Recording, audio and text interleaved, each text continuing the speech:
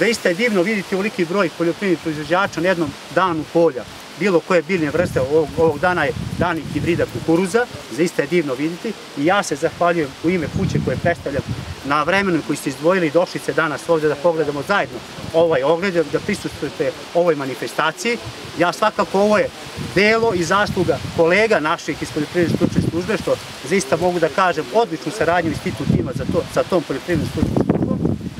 U ovom ogledu, rekao, imamo, kao što kolege već najavili, imamo 11 hibrida, ovaj, različitih FAO grupa, od FAO grupa zrenja 300,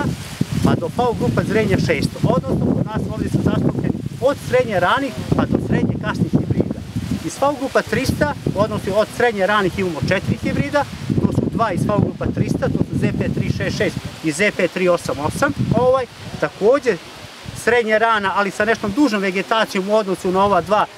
iz FAO grupa 400, to su hibridi ZP4007 hibrid novije, najnovije generacije i jedan hibrid vama već, verujem, dobro poznat, naš vodeći srednji rani hibrid iz FAO grupa 400, to je hibrid ZP427. Što se tiče srednje stasnih hibrida iz FAO grupa 500, institut ima zastupljenih četiri hibrida, jedan opet novi, koji se prvi put pojavljuje, to je hibrid ZP500, to je da pre svega da kažem ovaj, da se radi o hibridu kojeg pre svega preporučujemo za one proizvođače koje svoje prinose ubiraju kombajniranjem žetvom u zrnu. Jer znam da ima ovde ozbiljnih proizvođača koji to rade poput Miodrga Denčića, našeg izvođača proizvodnog ogleda, dugogodišnja saradnja, uglednog domaćina iz ovog kraja, znači imamo odličnu saradnju, e, da kažem samo nešto, pošto prvi put se taj hibrid pojavljuje kod nas, da se radi o hibridu visokog genetskog potencijala, dobro kvaliteta zrna, dosta toleranta na suši,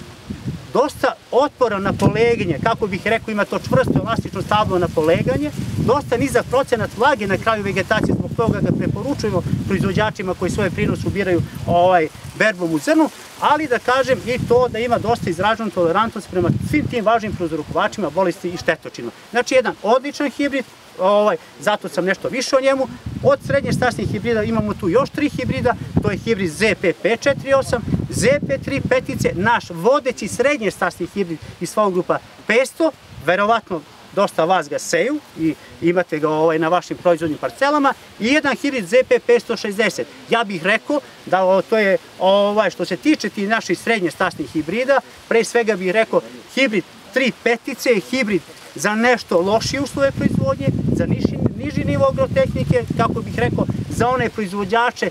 sa da ne kažem tanjim džepom sa, a, koji nemaju toliko sredstava da uložu u proizvodnju, ali zato i neće vas ostaviti bez ovaj prinosa. Kako bi rekao, radi se o hibridu koji ima visoku tolerantnost i kako bi rekao široku adaptabilnost u tim nepovoljnim uslovima proizvodnje. Za razliku od njega hibrid 560 je hibrid koji zahtjeva nešto bolje uslove proizvodnje, bolje domaćine, kao, ali bih rekao i dobre godine, kao što je bila. Ja ipak moram da kažem ovde, eto, suša, ali bih mogao da karakterišem ovo da je to lokalnog karaktera, jer ova godina, moramo da kažemo, s obzirom da ja i kolega Miljan pokrivamo dosta veliki teren, posebno ja, moram da kažem da je ova godina bila naklonjena za proizvodnju kukuruza. Ne kao projektodna godina 2018. ali svakako je bila mnogo bolja godina nego što je 2017. i neke godine, pamtite, koje su bile ekstremno sušne godine ove.